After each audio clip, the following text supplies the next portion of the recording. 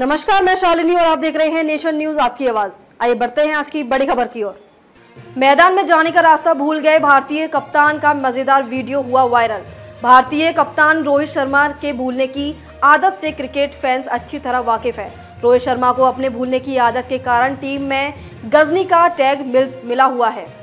रोहित शर्मा के भूलने की आदत का एक वाक्य शनिवार को बेंगलुरु के एम चिन्ना स्वामी स्टेडियम पर भी देखने को मिला है। भारतीय कप्तान को मैदान में जाना था, जिसके लिए वह साइड स्क्रीन के पीछे से चलते हुए गए।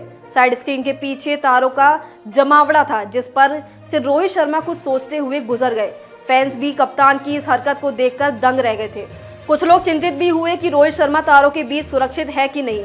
वही कुछ लोग रोहित शर्मा को ऐसा करते देख हँसी नहीं रोक पाए। रोहित शर्मा को देखकर ऐसा प्रतीत हो रहा है कि वो कोई रणनीति सोचते हुए अपने आप में मग्न है और मैदान के अंदर जा रहे हैं। इसके लिए उन्हें नहीं पता कि सही रास्ता कौन सा है।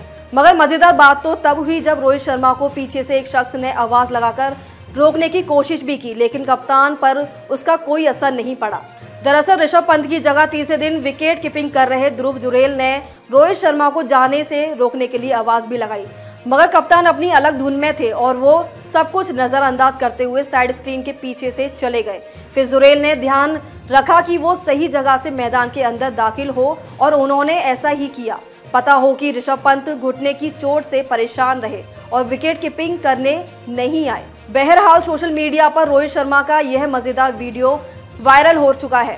कई यूज़र्स का कहना है कि क्रिकेटर के मैदान पर रोहित शर्मा से मज़ेदार कैरेक्टर कोई और देखने को नहीं मिला है। कुछ यूज़र्स ने रोहित शर्मा को क्लिप को शेयर करते हुए हंसने की इमोजी के साथ लिखा, इसे देख हँसी नहीं रोकी जा सकती। खबरों में अब तक के लिए बस इतना ही। फिर होगी आपसे मुलाकात। तब तक लिए देखते रहिए नेशन न्यूज़, आपकी आवाज़।